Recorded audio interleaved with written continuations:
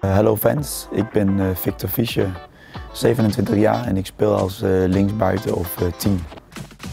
Ik was er ook een beetje verrast over, maar aan de andere kant, waarom niet? Ik, ik ben fit, ik kan spelen en als de trainer me gelijk wil gebruiken, dan, dan speel ik alles wat ik kan, wat ik kan meenemen en probeer de, het team en de club te, te helpen om ja, hopelijk de resultaten te krijgen die we, die we moeten en, en, en, en graag willen hebben eerlijk gezegd gewoon super, super verrast uh, hoe mooi het was. Uh, hoe weinig uh, toeschouwers er waren en hoe, hoe, hoe, hoog het geluid was. Het was een beetje een Engels sfeer in, in, in, in het stadion. ja, ik kan niet wachten op, op meer. Het is sowieso een mooie stad. Als je in Kopenhagen woont en je van Kopenhagen houdt, dan is het altijd een van de steden waarover je hoort dat het ook mooi is om te wonen dat was ook een, een, een part van, uh, van mijn beslissing om hier om hierheen te gaan.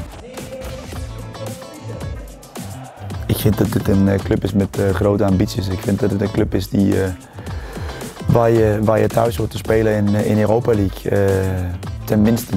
Dus um, ik, ik kijk daar zeer vooruit naar. Ik denk dat dat grote avonden gaat worden met ons publiek.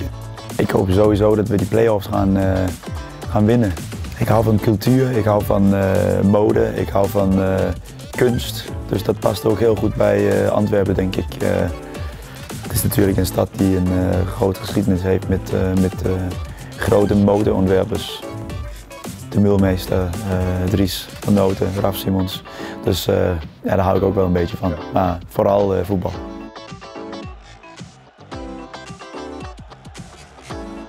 Ik, ik zie de Antwerpen spelers even denken. Belgische spelers? Is het een Belg of een Nederlanders? Of... Is het een Nederlander?